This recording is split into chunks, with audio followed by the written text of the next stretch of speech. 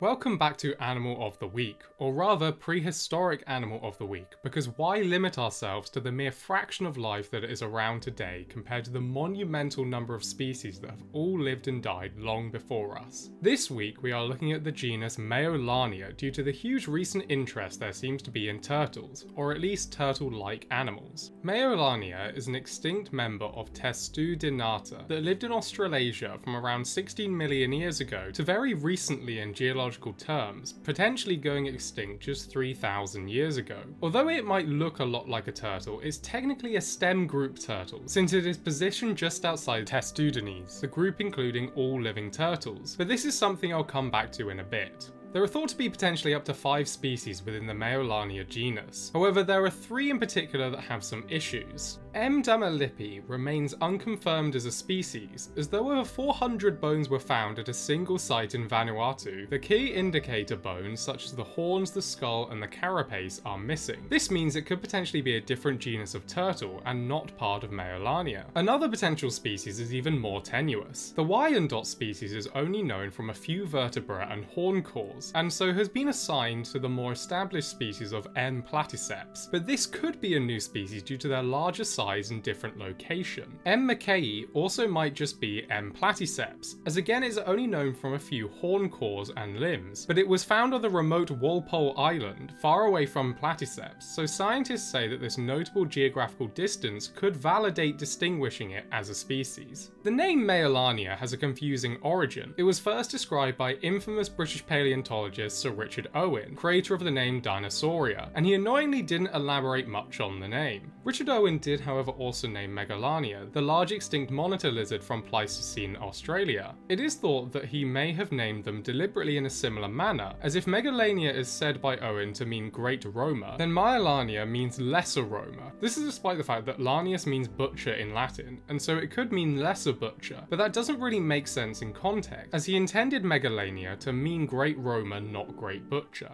Owen described the genus in 1886 after receiving fossil bones in 1884 of the species Platyceps, which then obviously became the type species for the genus. He originally described the bones as two separate species, with M minor being the other, however this has now been absorbed into Platyceps. Poet and explorer Robert Fitzgerald is the man who sent Owen the fossils all the way from Lord Howe Island off the coast of Australia. Despite Fitzgerald telling Owen that what he was sending him were turtle fossils, Owen believed them to be of a lizard, which is why he chose the name relating to Megalania. He believed Meiolania to be a smaller island relative of the larger mainland lizards.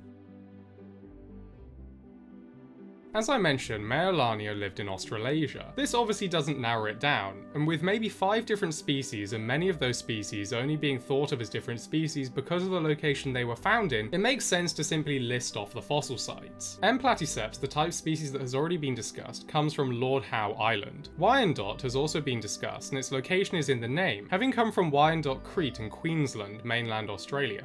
M. mackay, as mentioned, comes from Walpole Island in New Caledonia, and M. damelipi from Vanuatu, specifically an archaeological site called Teouma on the island of Efate. Finally, M. brevicollis comes from the Northern Territory of mainland Australia near a place called Camfield Station. Camfield Station to Efate is obviously an enormous range, and there are various theories on how they became so widely dispersed. Obviously not all the sites are from the same time. The oldest is brevicollis, which was found at a Miocene site. Damelipi comes from a Holocene site, making it the youngest of all. Platyceps, Wyandotte, and Mackay all came from Pleistocene sites. One theory relates to the now submerged continent of Zealandia. It is thought that maybe the three island varieties descended from a much earlier species that had been widespread across Zealandia. When it submerged 23 million years ago, they would have become isolated on islands and speciation took place. That species could have been the Miocene brevicollis, but then one might expect their fossils to also be found on some remote islands, but they have only been found in Australia. The timing is also wrong, as the earliest found brevicollis fossils come from only around 16 million years ago.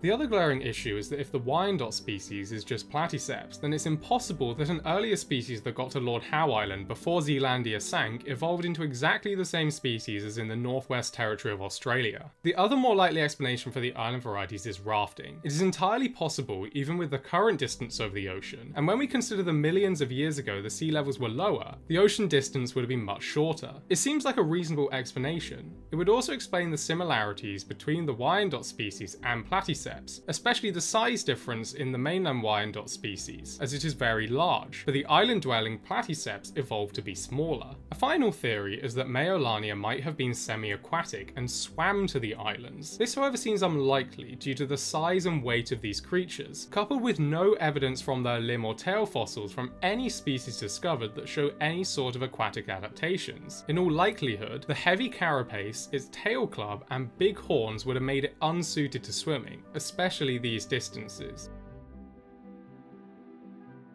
The very large and heavy horns, coupled with a restrictive carapace for protection, all suggest that Meiolania species would have had to feed through grazing. It is unlikely that they would have been able to lift their heads at an angle that would have allowed for them to eat anything higher than what was on the floor or just above it. Fallen fruit, ferns, and any edible flowers would have probably been the preferred food of Meiolania. This is assuming though that species like damelipi are actually Meiolania. If they are actually more modern turtles, then they would most likely have been omnivores and fed upon jellyfish as well.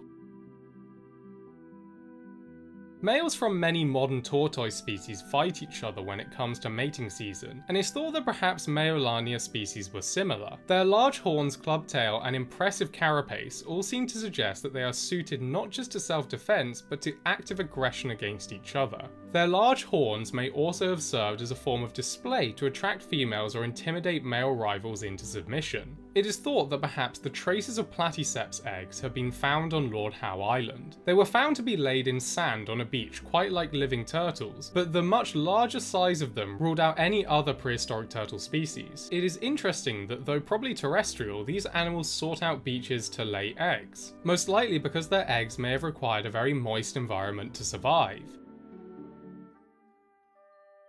As I mentioned before, the evolutionary position of Meiolania is pretty interesting, as it is not actually a true turtle in the technical sense. Previous research on the classification of these reptiles published in the 1980s and 1990s found Meiolaniidae, the family including all the Meiolania species and their relatives, to be positioned as the sister group to one of the two major groupings of living turtles, the Cryptodires, the other living group being the Pleurodires. However, since the 2000s, studies have mostly been in agreement that actually the Meiolaniids are not closely related to the Cryptodires nor the Pleurodires and instead they are actually positioned outside of Testudines as their own branch called the Meiolaniformes. This therefore means that the Meiolaniids are not true crown group turtles, since the definition of a crown group is that it includes all currently alive members of a group, and back to their most recent common ancestor. So the Meiolaniids would fall outside this, and therefore they are technically stem group turtles.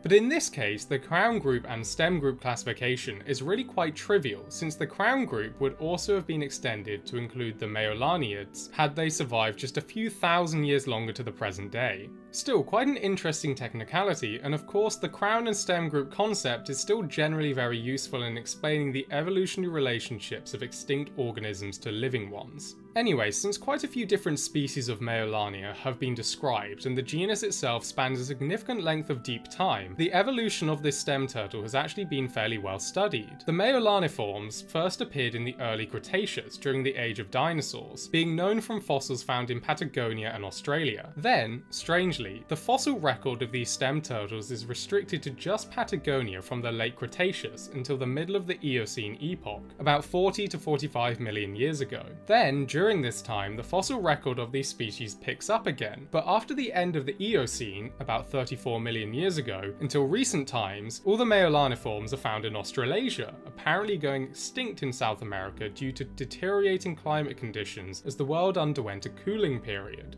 The Meiolaniids may have survived in Australasia despite going extinct elsewhere because of the northward drifting of the continent, meaning that despite the cooling trend of the time, between the Eocene and the Oligocene epochs, Australasia was buffered due to its continued movement northward toward lower latitudes. The closest related genus to Meiolania is a genus called Warkalania, named in 1992 from remains found in Queensland, and notable for lacking the elongated horns of Meiolania species. It is also the oldest named Meiolaniid fossil found found in Australasia, though the remains of even older Eocene-aged ones are known to be too fragmentary to scientifically name. The only other currently named Australasian Meiolaniid is Ninjemys, also described in 1992 when a species originally included within Meiolania, Meiolania oweni, was found distinct enough to be its own genus, and so was renamed Ninjemys oweni. What does Ninjemys mean? Well, in that 1992 paper, the paleontologist describing it explains that it comes from the Latin emys meaning turtle, and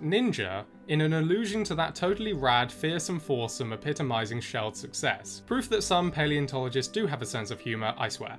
Thanks to the elaborate scales, horns, and other structures of the skulls of Meiolaniids, the evolution of the different species has been relatively easy to track. Among the Australasian Meiolaniids, Ninjemys formed the outgroup to Warkalania and Meiolania, with Ninjemys having scale and horn anatomy more like that of some of the basal Meolaniids and Warkalania and Meiolania possessing many shared characteristics of the skull that unite them as close relatives. Gaffneylania, named in 2015 based on fossils found in Patagonia, may also prove to be quite closely related to Meiolania and Warkalania, but its exact position is still uncertain.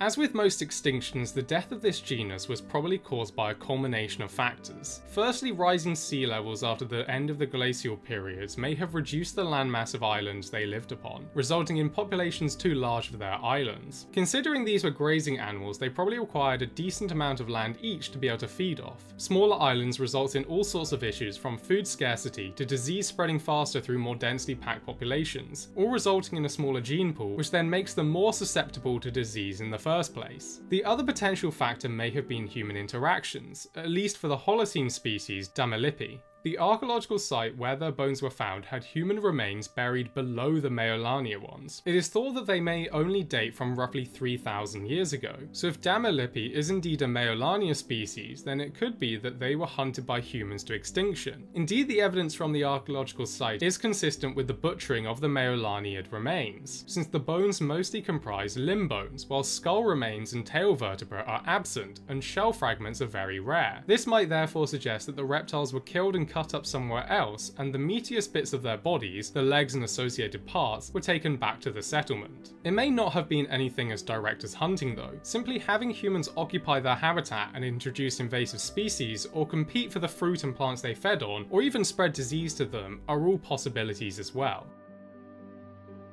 Thank you for watching this video, I really hope you enjoyed it and learned something new. If you'd like to learn more about our world, its history, and the wonderful life that surrounds us all, please feel free to subscribe to the channel if you think we deserve it and if you'd like to see more from us.